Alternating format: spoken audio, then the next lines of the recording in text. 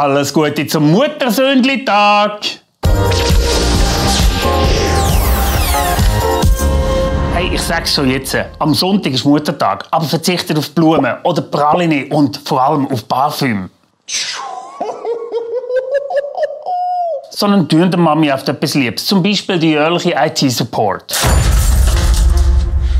TV-Box spinnt. Hey, Fernsehen richtig einstellen wäre eigentlich schon heute Abend wichtig. ESC Halbfinale in England. Ich freue mich auf schnulzige Songs, noch schrägere Outfits. Hey, der englische Kandidat hat schon mal crazy vorgelegt. Aber wenigstens ist der schon über 16. Sorry, wenn am Sonntag Muttertag ist, dann ist heute Abend Muttersöhnli-Tag. Ja, geile Stimme. Aber vor allem ist er nicht herzig. Start Nummer 8 heute Abend. Unser Remo Vorher. Falsch, das ist der Marius Bär vom ESC 2022.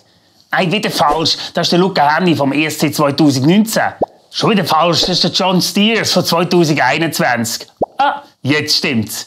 Sind aber auch schwierig auseinanderzuhalten. Es ist schon bitter genug, dass Schweizer Late-Night-Shows nur von Typen gehostet werden. Aber am ESC schickt man anscheinend sogar einfach immer wieder den gleichen junge Burst. Und das, obwohl der Kandidat oder die Kandidatin jeweils von 100 ZuschauerInnen und einer 20-köpfigen internationalen Fachjury ausgewählt wird. Haben wir ein Bild von dieser Jury? Okay, jetzt ist mir einiges klar. Sogar ein Blick ist der fehlende Frauenanteil in der Schweizer Auswahl aufgefallen. Switzerland, zero Frauen. Tatsächlich ist die letzte Frau, die solo für die Schweiz antreten ist, schon eine Weile her. 2016 hat es die da versucht.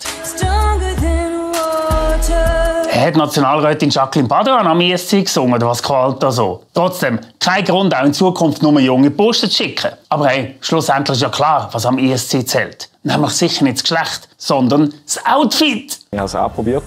Ähm, habe mich eigentlich extrem unwohl gefühlt, also mit dem Umlaufen Backstage. Hey, aber jetzt ist eh fertig mit Backstage umhängen mit den Buben. Jetzt geht's raus auf die Bühne, Remo. Viel Glück.